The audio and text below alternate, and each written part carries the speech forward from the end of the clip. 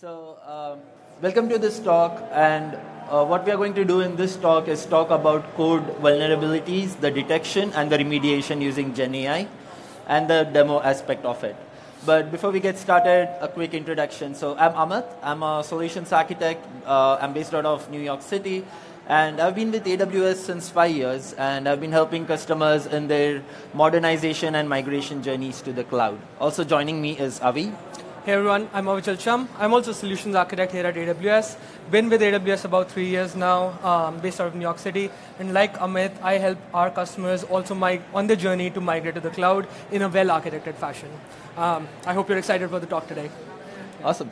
So before we get started, let's do a quick show of hands on uh, how many of you use Lambda functions in your environments. Oh, wow. That's great. And then how many of you have some sort of uh, static code analysis or dynamic code analysis running? Sweet. That's that's like a major. So that's awesome. So this is a perfect talk.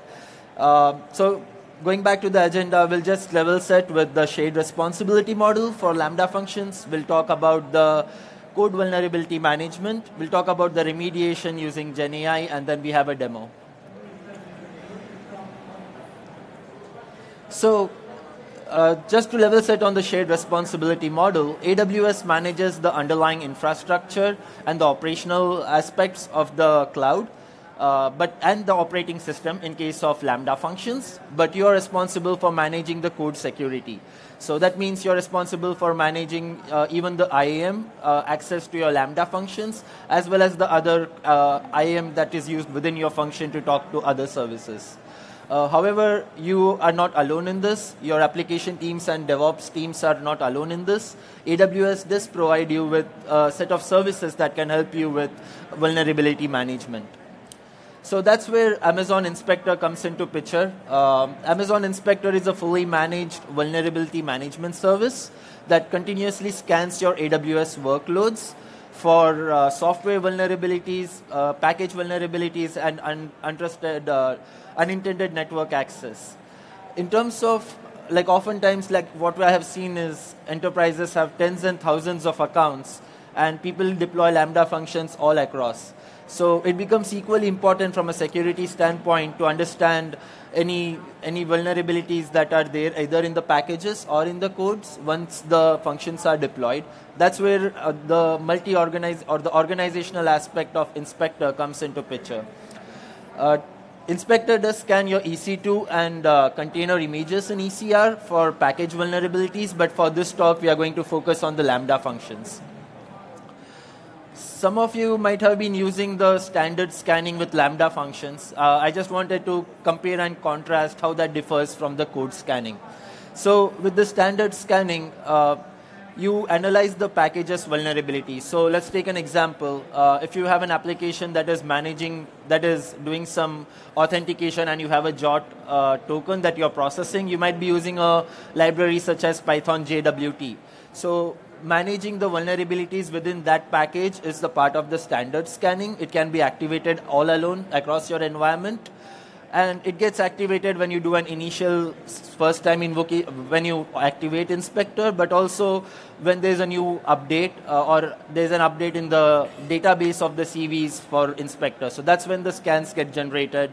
And there are in terms of remediations it does suggest what are the new package versions that you could use for standard scanning so coming to the code scanning which we are here for so code scanning feature was actually GA'd last re:Invent in 2023 and this would be the place where it analyzes the lines of code within your Lambda function to detect uh, common CWEs. And things, some of the most common one in top 25 are SQL injection, as well as unintended data exposure, um, as well as weak cryptography. So in order to activate the code scanning, you need to have standard scanning. That's a prereq. So, and it again gets invoked invoked during the first activation of inspector and apart from that whenever you update your code so if your application teams are constantly updating your codes via a ci cd cycle that's when it gets triggered again as well as when we detect in our databases that there's a potential uh, new cwe that's when the initial scan runs and in terms of remediation inspector does power inspector does allow you to have remediation using gen ai uh, in terms of code scanning, uh, Inspector actually uses uh, automated reasoning and machine learning to do the detection of the code to find out the vulnerabilities. And in order to do remediation, that's where the GenAI piece comes into picture. And this is not the first time uh, that we are doing this. Uh, this has been actually Amazon Inspector and this particular remediation practices have been used at AWS and Amazon before. So it borrows the best practices from AWS security practices, and it has undergone over a million plus code vulnerability assessments at Amazon internally. So it's, it's a battle tested feature, and it provides you, once you detect a vulnerability, we provide you with the remediation, uh, which Avi will be going over shortly in the demo but these remediations are offered uh, in a plug and play manner where you can download the patches and then you can plug it in a flow through a CI CD cycle. Uh, we always recommend that within the CI CD cycle, have your developers uh, review the code remediations so that, it, uh, so that it meets your requirements before committing them. So if we take a step back and zoom out of this, where do we see the code scanning, right? So in terms of your developers, typically we see that if you are using an IDE environment, you could have the static code scanning embedded in your IDEs to detect these vulnerabilities. Uh, within your pipeline, whether you're using Amazon code pipeline or any other pipeline, you could use the CodeGuru security to scan for the security findings. But sometimes uh, there are new findings that are being generated and your CI/CD cycle has already passed. So your code is actually running in a Lambda function, and that's when you want to have something that scans in a post-deployment manner. That's where Amazon Inspector can be used to do the code scanning. And whenever there is the other aspect of it is when, whenever there are new CWEs being generated, that's where Inspector will be able to detect them because it's towards the right end of the spectrum. Uh, but this holistic, this slide is aimed to give the holistic view of where we see code scanning being done. So with that, uh, talk is good, doing is better. So we'll switch over to a demo, and Avi, and hopefully the demo gods are with us. Yeah. Uh, we are going to showcase uh, a demo where we are going to go over an anatomy of a finding, as well as generate new findings and show how the whole flow works in a CI/CD pipeline.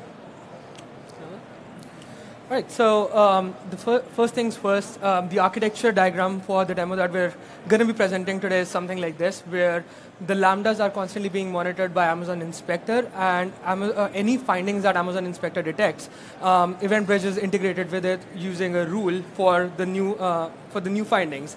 From there, there's a simple notification service that will alert your SecOps team of any new findings that exist and at the same time, using the patch that Amit was mentioning, a code pipeline can be triggered that will start the process to automatically remediate this.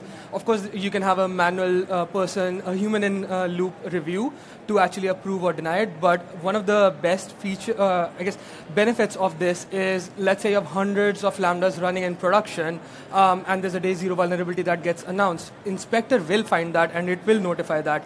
Now, rather than go and manually modify the code for hundreds of these lambdas, Inspector is enabling you using those patch files and using those GenAI-based recommendations to uh, modify your CI/CD pipelines and push the code a lot quicker and have those fixes in place. Um, with that, we're going to move to the live demo. Um, so in this, um, like most things, we're going to begin with the AWS console and starting, um, and from there we'll head out into Amazon Inspector. Um, from Amazon Inspector, uh, your screen might look slightly different if you haven't activated Inspector in the past. Um, but once you click on Activate Inspector, this is the screen that you'll go to where you'll have the findings um, already, some of the findings already present. From there, we're going to go to the account management screen. Um, from there, yeah, we're, we're going to go to the account management screen and go and activate uh, code scanning. So we'll have to manually activate Lambda code scanning um, to enable it. Usually by default, it's just the Lambda standard scanning.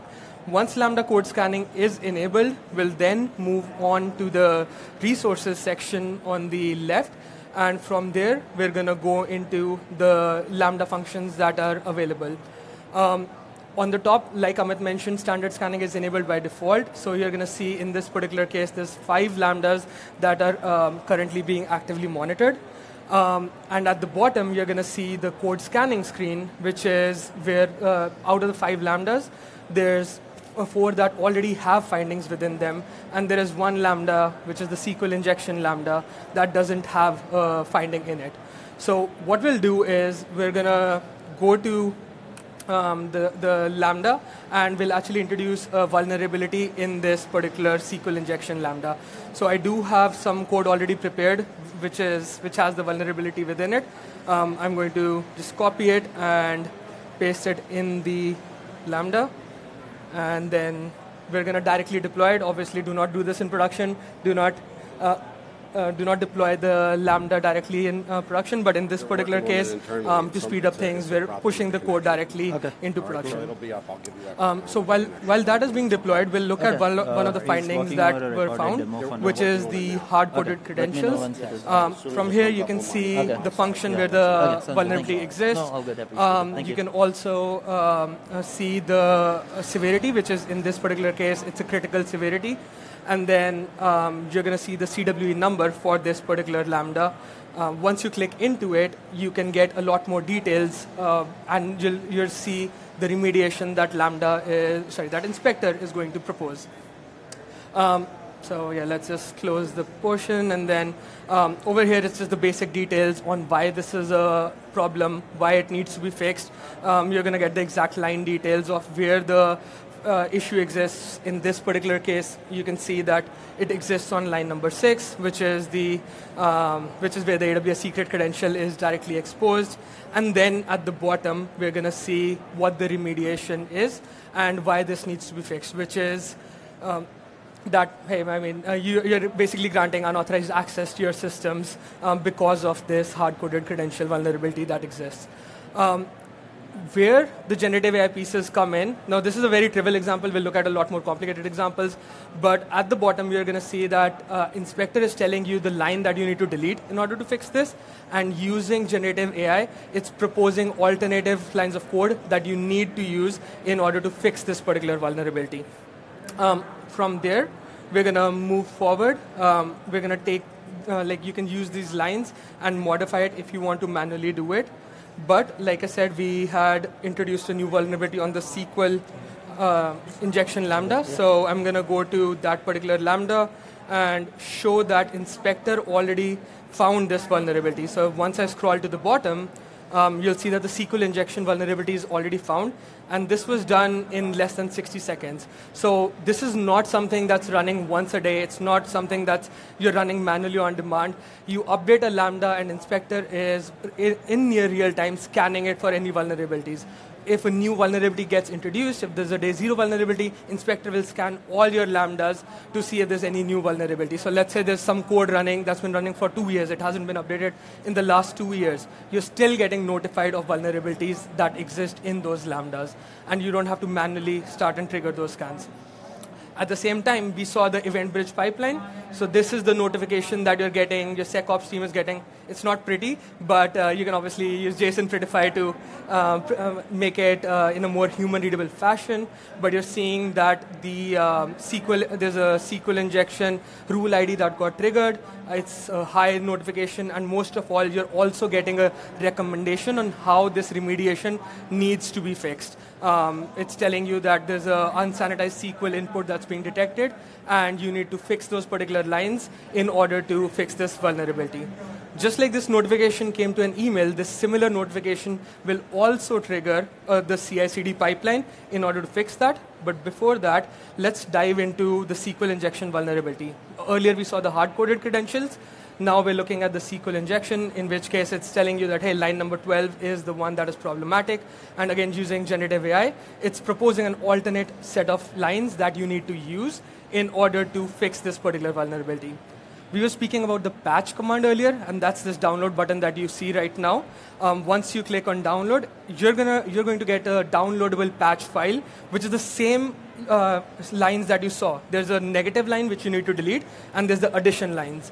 So you can use this patch file automatically in your Git repositories, and you can also use it in your CI/CD pipeline to automate this entire process and have the code ready to be published once uh, you have a human in the review loop um, and get it published to those hundreds of lambdas, or even if it's 10 lambdas, just getting it out much quicker.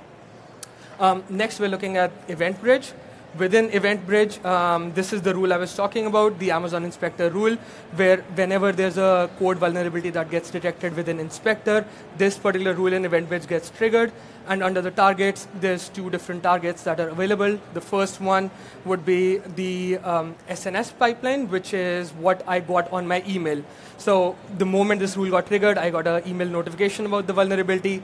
And the second target is the code pipeline target. Um, once I click on code pipeline, you'll see that the code pipeline was also just triggered a minute ago. So the patch file that we just saw, the code pipeline is already has the code ready to go for you to, for the patch to be remediated. And the, at the bottom, there's a manual human in the re, uh, review option. This is a optional item, so you, if you don't want it, you can completely skip this. But uh, ideally, a SecOps person or a developer would review the changes that are being proposed, they approve it, and the, uh, the changes are ready to be deployed into production for all your lambdas to quickly fix this. Um, and, the, and that's where uh, generative AI can really help you out. So rather than spend days or hours figuring out every single area where it needs to be, where your code needs to be updated, or what all changes need to be made to fix it, um, using generative AI, all those lines of changes are automatically re- ready for you and uh, ready to go um, for for your uh, uh Lambda pipelines. And then um, with that, we're going to move to the next slide. Um, just recapping what we uh, saw so far. So um, what you saw is that um, code scanning needs to be, first of all, manually enabled. So do keep that in mind. Usually it's just standard scanning that's enabled. Um, within Inspector, you do need to go and enable code scanning. And once you enable code scanning, um, those remediations are readily available to you in a plug and play fashion. So you don't have to build custom complex pipelines integrated with other LLMs or build your own pipeline figuring out how to fix code.